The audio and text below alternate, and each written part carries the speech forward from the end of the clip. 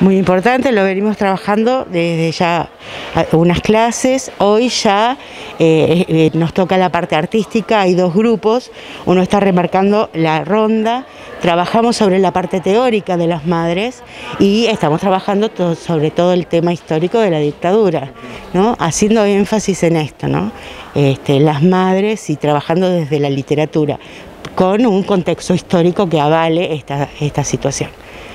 Así que ahora tenemos dos grupos, uno está haciendo la ronda y el otro haciendo la parte creativa eh, que, va a ser afiches que vamos a pegar en la escuela. este es un grupo de primer año del turno mañana. El abordaje de este tema, que es un tema complejo, es un tema que lógicamente también sigue teniendo interpretaciones y visiones distintas en, las propias familias. Digo, eh, ¿cómo los encuentran los chicos? ¿Son, son, de, son de indagar, son de cuestionar? Son, ¿cómo, cómo, están frente a este tema?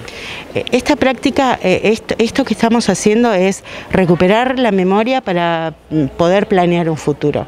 No hay futuro posible si no sabemos de dónde venimos, esto es parte de, nuestra este, identidad nacional, y, lamentablemente.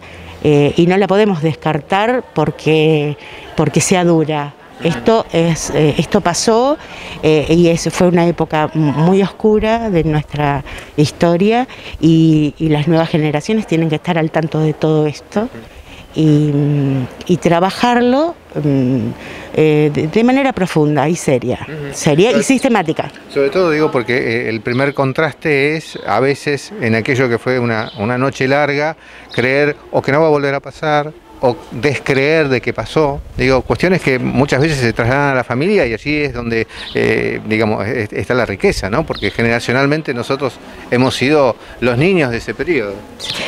Sí, para ellos es algo eh, totalmente ajeno a la realidad, ¿no? Nadie puede pensar en este momento eh, donde eh, el Estado no protege a los ciudadanos. claro, no, no, para ellos es algo como, como lejano.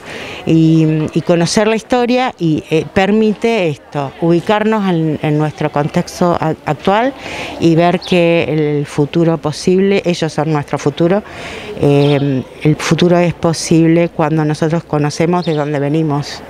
Eh, así que bueno, ya hace unas clases, recién empezamos con todo.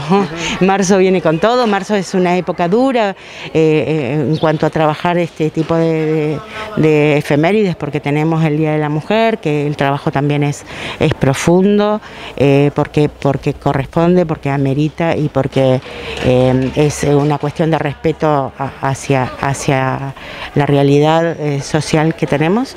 Y después la parte de recuperar la memoria que tiene que ver con el 24 de marzo, Día de la Memoria, Verdad y Justicia.